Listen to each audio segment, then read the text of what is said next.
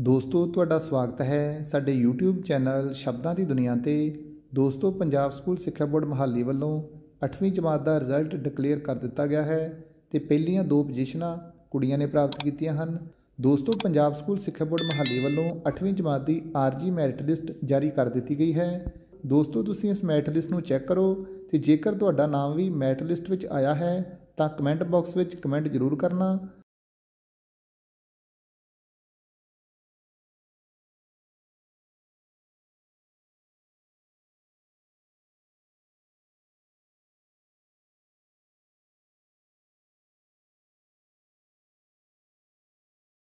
ਦੋਸਤੋ, ਪੰਜਾਬ ਸਕੂਲ ਸਿੱਖਿਆ ਬੋਰਡ ਮਹਾਲੀ ਵੱਲੋਂ ਬੋਰਡ ਦੀ ਅਫੀਸ਼ੀਅਲ ਵੈਬਸਾਈਟ ਤੇ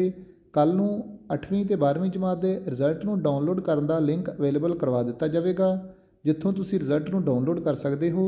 ਤੇ ਰਿਜ਼ਲਟ ਨੂੰ ਡਾਊਨਲੋਡ ਕਿਵੇਂ ਕਰਨਾ ਹੈ, ਇਸ ਸੰਬੰਧੀ ਵੀਡੀਓ ਤੁਸੀਂ ਉੱਪਰ ਆਈ ਬਟਨ ਤੋਂ ਦੇਖ ਸਕਦੇ ਹੋ ਜਾਂ ਇਸ ਵੀਡੀਓ ਦੇ ਡਿਸਕ੍ਰਿਪਸ਼ਨ ਵਿੱਚ ਮੈਂ ਵੀਡੀਓ ਦਾ ਲਿੰਕ ਪਾ ਦਵਾਂਗਾ, ਜਿੱਥੋਂ ਤੁਸੀਂ ਜਾਣਕਾਰੀ ਪ੍ਰਾਪਤ ਕਰ ਸਕਦੇ ਹੋ। ਦੋਸਤੋ ਵੀਡੀਓ ਵਿੱਚ ਮੈਂ ਸਾਰੀ ਮੈਟ ਲਿਸਟ ਸ਼ੋਅ ਕਰ ਦਿੱਤੀ ਹੈ ਜਿਸ ਦਾ ਤੁਸੀਂ ਸਕਰੀਨਸ਼ਾਟ ਲੈ ਸਕਦੇ ਹੋ ਤੇ ਜੇਕਰ ਤੁਸੀਂ ਇਸ ਮੈਟ ਲਿਸਟ ਨੂੰ ਪ੍ਰਾਪਤ ਕਰਨਾ ਚਾਹੁੰਦੇ ਹੋ, ਤਾਂ ਮੇਰੀ ਇੰਸਟਾਗ੍ਰam ਆਈਡੀ ਨੂੰ ਫੋਲੋ ਕਰਕੇ ਤੁਸੀਂ ਮੈਸੇਜ ਕਰ ਸਕਦੇ ਹੋ, ਤੁਹਾਨੂੰ ਮੈਟ ਲਿਸਟ ਭੇਜ ਦਿੱਤੀ ਜਾਵੇਗੀ। ਸੋ ਮਿਲਦੇ ਹਾਂ ਕਿਸੇ ਨਵੀਂ ਵੀਡੀਓ ਨਾਲ, ਤਦ ਤੱਕ ਲਈ keep learning learn more thank you